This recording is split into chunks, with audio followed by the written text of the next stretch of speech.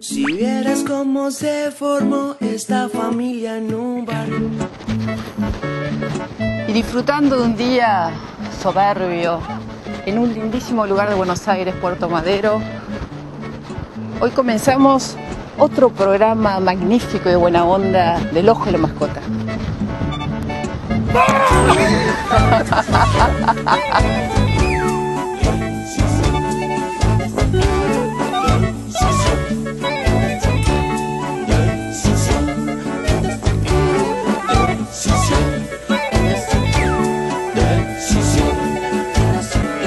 Volando en un cielo raso y sin motor.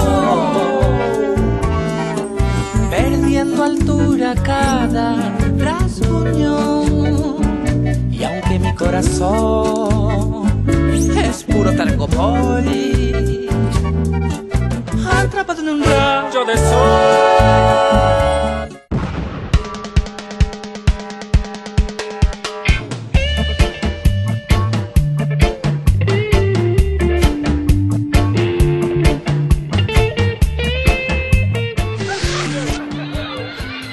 Hola, aquí estamos en una exposición especializada de ovejeros alemanes. A ver, Roberto, explícanos un poquito eh, hoy qué se juzga aquí. eh, Esta exposición está específicamente orientada a la estructura del ovejero alemán.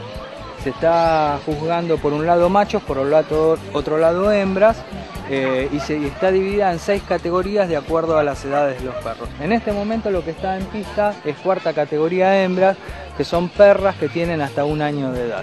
me estabas comentando que aquí se evalúan solamente estructuralmente y qué porcentaje de las líneas de trabajo en ovejero alemán participan de estas Eh, exposiciones? prácticamente la línea de trabajo acá es prácticamente nula. ¿ok? Eh, eh, todo perro de estructura. Eh, estaba medio dividido el tema, los de trabajo compiten cuando son competencias de trabajo. Si bien algunos de estructura llegan a competir en trabajo, pero no nos tenemos que olvidar que la gente que cría estructura selecciona en base a la estructura y la gente que eh, cría ejemplares de trabajo selecciona en cuanto a las virtudes que pueda tener el perro hacia el trabajo. Entonces, realmente, estructuralmente, son muy, eh, las diferencias son muy marcadas, eh, del- puntualmente del punto estructural. Hay, hay diferencia como para, como para no poder mezclar las cosas. ¿Qué pasa, Mónica? ¿Qué particularidad ponen los, los ovejeros alemanes? Eh, el ovejero alemán va adelante, el ejemplar va adelante del conductor y tirando. Esta es una particularidad de esta raza. Así se muestran el ovejero alemán en posiciones de, Empuje, ¿no? Digamos. de empuje. eh, justamente se, eh, ellos ¿Pero por qué? ¿Porque es trineo? ¿Tiene algo que ver con No, no, no, no, eh, lo vimos en la otra nota, es decir, eh, se evalúa muchísimo el empuje del tren posterior, que eso es lo que le da eh, a menor, eh, es decir, con menor energía, que puedan recorrer mayor cantidad de, de, de terreno. Y tu consejo, Fabián, ¿cuándo un, propietario de un gato realmente tiene que acudir urgentísimo a consultar a un veterinario? ¿Cuáles son los síntomas peligrosos? El, primero que yo siempre eh, le aconsejo a mis clientes es cuando ven que el gato deja de comer o que está comiendo menos. El gato eh, cuando se siente mal o por cualquier motivo lo primero que hace es dejar de comer. Ese es el primer punto. O deja de comer o come menos. La gente dice yo siempre le doy esto y ahora está comiendo menos. ¿Hay algún problema? Ese es uno. Y la otra cuando el gato deja de limpiarse. Cuando el gato deja de limpiarse, el gato es muy limpio. Cuando el gato deja de limpiarse, de autoacicalarse, indudablemente hay algún problema. Que puede ser un problema chico, un problema mediano o un problema grave, pero hay un problema. Entonces son los, los primeros datos que yo le doy a la, a la gente. Importantísimo. Importantísimo. Dos, dos temas, pero muy importantes. Exacto. Y después, para terminar, esa- esas eran las dos vacunas que yo recomiendo sí o sí. Después hay otras vacunas, como por ejemplo la de la leucemia, yo solamente recomiendo en aquellos animales que corren un riesgo epidemiológico de contagiarse leucemia. La leucemia es una enfermedad inmunosupresora que se contagia por contacto directo de gato a gato, por gatos que se pelean, por gatos que se arañan, por, eh, por acto sexual. Entonces, ¿qué pasa? Si son gatos que tienen posibilidad, gatos de techo, que tienen posibilidad de eh, pelearse, de estar con otros gatos, recomiendo vacunar con leucemia. Si son gatos de departamento, que no salen nunca, que no tienen contacto con otro gato, no hay necesidad de vacunar contra la leucemia.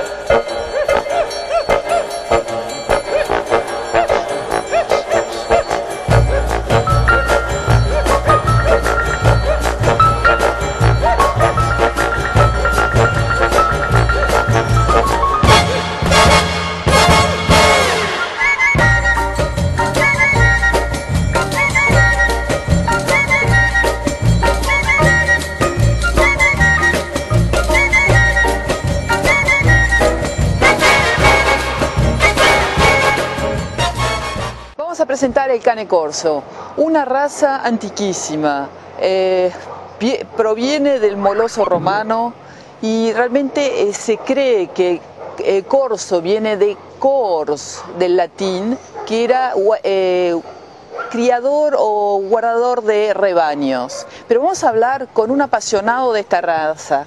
Maxi, buen día Maxi. Aquí en Ezeiza, en lo de Pancho, que no quiere salir. Maxi, querido, ¿cómo te va? Que se ha venido, se ha hecho la patriada de venirse de Entre Ríos. Sí, un sí. fanático total. ¿Cómo Pancho no quiere? ¿Quién es el que Pancho que no Bueno. quiere Allá Sí, está, allá allá. salir? Hola, gente. Qué ganas, ¿eh? Que pone. Sí, te pusieron a dar la barra. Bueno, dale. Bueno, Maxi, contanos un poco la particularidad de esta raza por la cual te enamoraste con, él- eh, con ella. Bueno, como primera medida, por el temperamento que tiene la raza para ser un perro de guardia, Dame que te ayudo. es clave, Sí. que se diferencia muchísimo de otras razas. Eh, Es muy estable sí, emocionalmente sí. y muy guardián del lugar donde uno lo tiene. ¿Y con los niños? Es espectacular. Porque realmente vemos un, un perro de un porte im- imponente. Acá estamos con un cachorro eh, nueve meses. nueve meses. Y eh, acá con un perro adulto de dos años, que también se puede considerar cachorro para la raza porque crecen hasta los tres años. Vos me estabas comentando la particularidad, cuál es eh, la relación con el niño eh, y realmente con el niño desconocido incluso. Y el tema es que lo que tiene la raza, el beneficio, es que es muy guardián eh, pasivamente. No hace falta que entre en acción el perro. Entonces, con los niños es un perro normal. O sea, la gente le tiene miedo, pero por una cuestión de del aspecto físico que tiene el perro. porte. Del porte. Por Eso- el tamaño, por la estructura, pero no por lo que es el perro en sí. ¿Es un perro ladrador? No, ladra solamente cuando lo necesita. Digamos, en la evolución de su estructura, eh, el perro hasta, hasta qué edad empieza a, eh, A ensanchar. a ensancharse y De a- alto crece hasta los 9-10 meses y de los 9-10 meses empieza hasta los 3 años a echar todo el volumen corporal que debe tener un perro. Digamos, Acá vemos la diferencia en un perro de 9 meses con un perro de 2 años. y, y esta raza, ¿cuándo le cortan las orejas? Lo ideal sería entre los 45 y 60 días porque el cartílago es muy finito todavía, por lo cual el perro no sufre y, y es muy fácil el postoperatorio. Y- A diferencia de otras razas que el postoperatorio es un poquito Es mucho más traumático. lento porque es más largo el corte. Exacto, entonces está el problema de que se caen, se caen las puntas de las orejas aquí. Exactamente, en estos perros prácticamente no tenemos ese problema porque es muy cortita y las para automáticamente sola después, a los 7-8 días después del corte. Bueno, este corte es particular, eh, particular de las razas de, de- de pelea justamente para sacarle el punto débil de la oreja larga justamente de la De ahí pelea. viene el origen del corte de la oreja, digamos. Ex- Exacto, el porqué del El corte. porqué del El corte del oreja. corte es por eso, porque por ahí se lastima mucho más. En la, en la pelea de Porque perros. el- Claro. se, produce, se puede producir un desangramiento por el tema del corte de una de las, de las orejas. Exacto. Bien, bien, bien. Eh, este perro eh, con sus congéneres, ¿es amigo o no le gusta tanto los No, sí, es muy amistoso, con, muy amigable con las demás razas, es salvo con razas grandes también. Ahí de tienden a guardia? Ahí, competir. ahí entiendo. pero uno puede tener tranquilamente dos perros juntos de estos, como los tenemos ahora, que no pasa nada, o con perros chiquitos en la calle no va a pasar nada. Capaz cuando se topa con un perro más grande, va a tratar de imponerse. Bueno, ustedes saben que la coprofagia eh, se llama eso a cuando los perros comen su propio excremento. Tendría que desaparecer alrededor de los 3-4 meses de vida. Si esto, este, este hábito continúa, puede ser ocasionado por distintas eh, situaciones. Una de ellas es eh, cuando el cachorro queda mucho tiempo solo y cuando vuelven sus amos es castigado. Entonces el cachorro genera, piensa, eso es malo y me van a castigar, entonces lo como antes de que venga mi amo. Y a veces también no es, no es bueno limpiar sus necesidades delante del cachorro, ¿Por qué? Porque es como que se genera una carrera. Me va a sacar algo que para mí es bueno, entonces yo me lo como antes que él llegue. Por otro lado, tampoco es bueno que estemos presentes porque el amo se inclina y al inclinarse el cachorro piensa que va a jugar. Es un- una conducta típica del juego. Y otra de las posibilidades es que a veces la gente le hay, situaciones que no se, no se digiere bien el alimento o se mezclan alimentos balanceados con alimentos naturales y entonces quedan pequeños residuos no digeridos y ese, ese olor es sumamente tentador para el, el cachorro, entonces tiende a comer. Bueno, hemos explicado lo que es la coprofagia en el ojo de la mascota. ¿Cuál es la raza más común de la Argentina?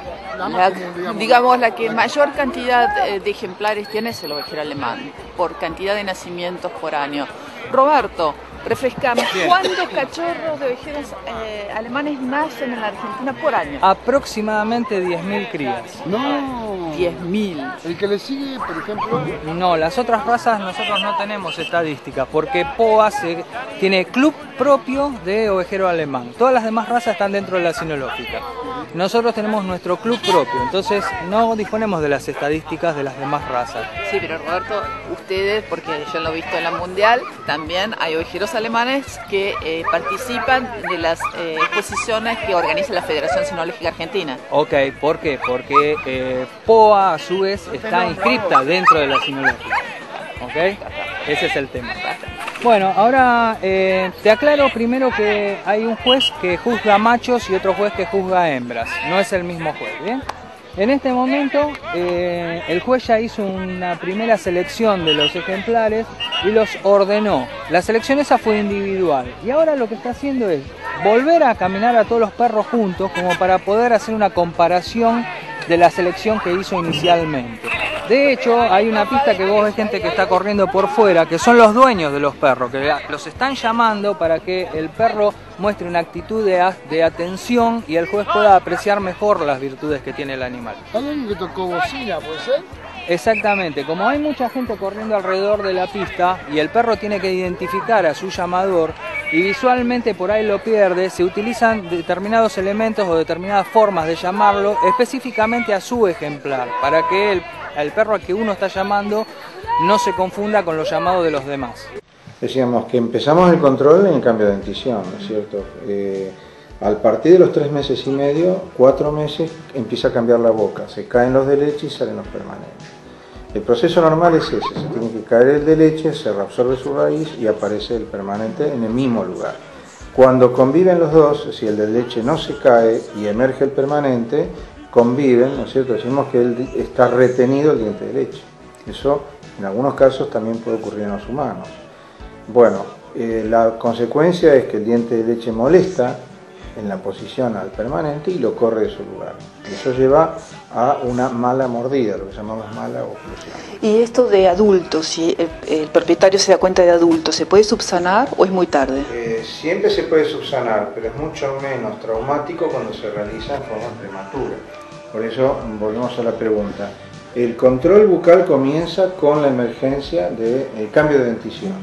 Cuando, por ejemplo, el premolar 1 inferior falta, eh, ¿es realmente motivo de que falte ese, ese diente? ¿O, o qué estudio se tiene que hacer eh, previamente? Cuando hablamos recién del cambio de la dentición, decíamos que los molares no, tienen, no son de leche, nacen directamente permanentes. Eh, el primer premolar, ¿eh? vulgarmente llamamos P1, es el único premolar que tampoco tiene de leche, sale permanente. Esa es una diferencia. Entonces, vemos que a veces cambia toda la boca y el primer premolar no aparece. Entonces, el primer paso es hacer una placa radiográfica para controlarlo. En algunas razas, se- sería importante difundirlo para todas las razas, ¿no? hacemos una radiografía seriada de toda la boca, ¿A qué edad? eh, ¿A qué edad semejante a una panorámica, a partir de las 10 semanas de vida. Es decir, cuando uno tiene eh, la posibilidad de exportar un cachorro, sería mucho más seguro sacar esa radiografía porque uno está vendiendo un cachorro, está expu- expuesta que tiene la dentición a futuro completa. Se ve clínicamente la dentición de leche, pero por debajo se puede certificar que tiene la dentición completa. Porque le digo, francamente, doctor, nosotros porque criamos perros, pero la mayoría de la gente que nos está viendo creo que no, no sabe eh, realmente qué, cuál es el alcance de la odontología alcance es muy amplio, muy amplio. Por ejemplo, eh, en un perrito donde ha perdido toda la zona anterior de incisivos, eh, generalmente se dan las razas medianas y chicas, otra consecuencia que puede traer eso es la pérdida de la, la caída de la lengua hacia el exterior. Entonces, una forma de evitarlo es reponerle esa fila en forma protética. Y muchas veces utilizamos los implantes para sostener la, la prótesis. Y, y la pérdida de dientes genera después problemas digestivos. Es, es bueno que siempre recordarlo, ¿no? Desde ya que sí, pero más importante en las enfermedades de la boca eh, son las infecciones, ¿sí? que pueden vehiculizarse por vía sanguínea y alojarse en otras partes del organismo. Y comienza por la boca. Fundamentalmente riñón, hígado eh, y corazón, con la valvulopatía.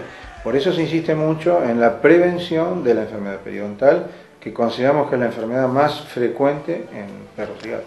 Muchísimas gracias, doctora Mato. Ha sido realmente una explicación eh, completísima. Y realmente fíjense cuán importante es la prevención, porque puede generar infección en la boca, nos lleva a que nuestros animalitos tengan infecciones internas. Esta raza es una, una raza creada eh, como raza de trabajo y es un animal que realmente se puede utilizar para una cantidad muy diversa de tareas. De hecho, se ha utilizado en la guerra, pero también me parece que eh, más eh, importantes son las utilizaciones como perros lazarillo, eh, perros de salvataje. eh, es muy amplia la, la gama para la cual la raza puede, puede dar utilidades. En realidad es ovejero, ¿no? Es, ovejero, pero realmente eh, la cantidad de, funcion- de funciones en las cuales el ovejero alemán puede ayudar al ser humano es ¿Por qué inmensa. es eso? ¿Por qué es eso? Porque es un perro que tiene una gran inteligencia y una gran, un gran poder de adaptabilidad, a las- pero sobre todo una gran inteligencia, ¿no? Y bueno, y eso también depende de los criadores y el, el nivel de exigencia y de selección. Eh, realmente eh, en Alemania eh, los criadores alemanes y la sinofilia alemana exige muchísimo a sus perros y sobre todo en el trabajo. José Luis, vos también sos un apasionado, un fanático, vos me, has- me han contado, has traído este imponente perro que viene hecho decidir y hacer semejante eh, sacrificio. Bueno, la realidad es, esto comenzó hace par de años, eh, estamos acá en el criadero de Pancho y él, yo vine a comprar unos ejemplares, lo vi en una publicidad y me encantó. Eh, en realidad no busqué por solamente lo que era el perro, yo lo que busqué era, a mí la atracción fue eh, física, eh, su, imponencia física, su expresión. Eh, en fin, sin darme cuenta, me encuentro con un moloso extraordinariamente de carácter esencial, es muy amigo con todo lo que lo rodea en su territorio, en su casa, eh, en Sudamento, donde vive, y es un excelente perro tanto de guardia y lo que mejor eh, tiene él, la capacidad del cerebro, su capacidad eh, de diferenciar los que lo rodean. peligro, el gente- pe- Exactamente, es un perro súper equilibrado, es un perro... lo que te hizo enamorarte con un cane corso es porque habías visto un perro en vivo en directo o, o- o una foto te impactó Yo de estuve buscando un perro que me impactara, un perro imponente, un perro de guardia. Eh, vi con cane corso sin querer porque me impactó, lo he visto en publicidad, en propaganda, de tanto revista española. Y dio la casualidad que cuando lo tuve vi lo que realmente era eh, el- como perro, la, Y- la socialización que tiene el perro, la conducta que tiene el perro. Y- y este es un perro súper extraordinario. Este perro me comentaste que lo compraste Bueno, en Italia. Este perro, como otros seis ejemplares más, yo he tenido la suerte de poder viajar a Italia y conocer alrededor de 25 criaderos, 25 a 30. eh, como hay excelentes criadores, como hay regulares o no, he tratado de viajar lo más que pude, que no es tan fácil recorrer Italia, ¿no? Es eso es interesantísimo. Lo he, import- lo- lo he importado porque empecé día a día a traerme más y enamorarme de la raza. Quiere decir Eh, que vos conociste padres y madres de Pa- padres y madres, abuelos. Antes de decidir y, la, y mayoría de sus ejemplares, uno día a día fue aprendiendo y entrando más con esta raza y buscar eh, eh, lo ideal del tipo de cane corso, lo que más le pide placer que, que tiene uno, ¿no? Digamos que Eh, conociste padres y madres de tus de los cachorros que te has decidido comprar. exactamente. Es decir, empaparte y conocer a full eh, el origen y El origen, el, eh, la utilización del perro. Perfecto. Eh, el perro es netamente, es un perro excelente de guardia, de defensa y de guardia. Bueno, y y, a- y con el peligro que tiene la gente, con un perro imponente de la estructura de un canecorso o cualquier otro moloso, eh, el canecorso sobresale. Es un súper equilibrado, eh, súper amoroso, es un perro que va a defender a muerte a todos los integrantes de, de- de su casa o los que lo rodean. Bueno. José Luis, te agradecemos la patria de haberte venido de Rosario y decinos cuál es el afijo de tu criadero. Eh, el afijo es el apellido el eh, de de. De Marquetou. criadero de Rosario. eh, y he llegado aquí para compartir con estos chicos sobre el canecorso porque es, eh, mi vida es, es ser comerciante y es muy limitado mi tiempo y debido a Masi que es un gran apasionado como Pancho, entonces viajé hasta aquí, hasta Ezeiza para compartir Muchísima- este momento. muchísimas yo te gracias. vos, Marita, gracias por todo. No, gracias. Ok. Y aquí estamos con el señor José Luis, de criadero de Marquetó de Rosario.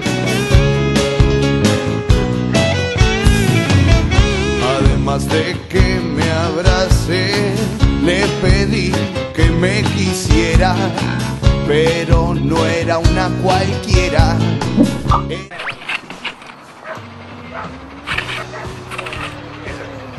¿Qué pasa, Lore? ¿Eh? ¿Todo bien? Todo bien. Así que ganó un trofeo. Sí, segundo puesto. Segundo puesto. Sí, ¿De dónde segundo. sos vos? De Córdoba. ¿Vos sos cordobés? Sí, ¿De dónde sos? Córdoba capital. De Córdoba Capital. Impresionante, che. Y viste te llevaste un premio entonces. Por suerte nos llevamos tres con esto ya. Y decime, ¿y asistís a muchas exposiciones? Eh, Sí. ¿Seguís eh, durante todo el año? ¿Vienen de Córdoba? Y Sí, viajamos a todos lados, sí, por suerte tenemos la posibilidad. Todo el año. Todo el ¿Y año. cuántos ejemplares tienen en su criadero? Ahora en este momento tenemos cinco, viajando estamos con cinco. ¿Y han importado sangre de afuera o, o la base de su criadero es de sangre de perros nacidos en Argentina? Sí, la mayoría de la base de perros nació en Argentina, ahora tenemos un perro traído de Alemania en casa. Y sos pirata, ¿no? ¿O sos, Sí, a full. sos Tallari? Mirá, no, mirá. Pirata a fondo, ¿no? corazón, sí.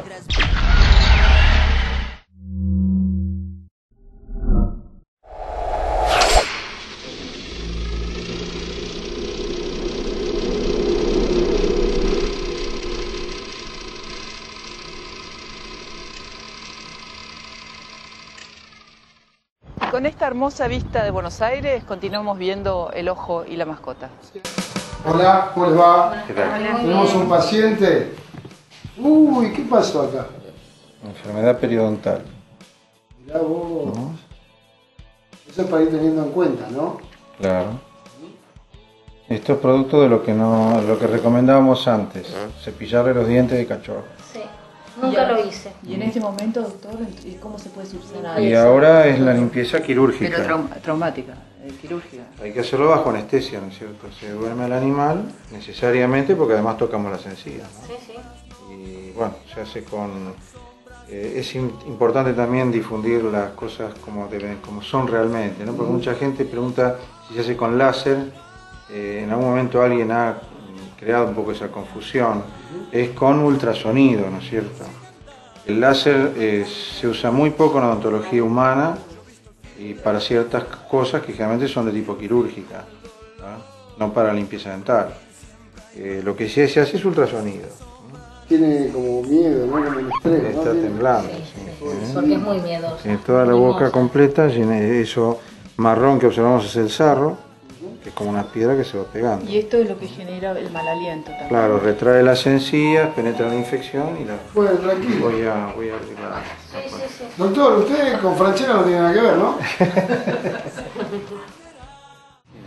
Che, ¿con quién estamos comprometidos nosotros? con Electropelva y como gerente de marketing, así que los voy a colaborar en todo lo que sea materiales eléctricos. Electropelva, listo. Bueno, así, gracias Roberto, en El Ojo y la Mascota ha cubierto una exposición especializada de ovejeros alemanes. Bueno, luego de esto, en un día un poco lluvioso, Está feo, Robert, ¿eh? El ovejero alemán es una raza de trabajo, o sea que si en este momento estuviera diluviando, la exposición se estaría haciendo igual. Mirá vos, impresionante. Aún cuando hubiese barro, lluvia, piedra, lo que sea. Mirá la carita que tiene este. Bueno, la- Obvia, obviamente, bueno, ha sido un placer que nos hayan visitado. Eh, saben ustedes que son amigos de la casa y estamos a su disposición para todo lo que los podamos ayudar y colaborar. Muchas gracias. Continuamos viendo El Ojo de la Mascota.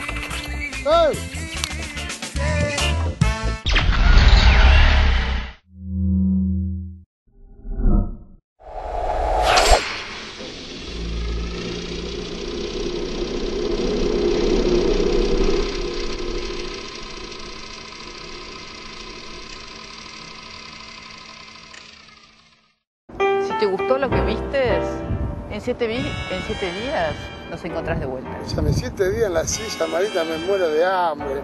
Para... ¿Por qué? Pero sos un mentiroso, sos un versero, pibe. ¿Qué hace acá, Marita, en la puerta de la farmacia? Este, esta labradora está esperando a su amo. ¿En serio? Realmente, sí, realmente. Tierno. Fíjate, realmente los perros son los mejores amigos de los hombres. Increíble. Chao. Chao. I know things will come my way.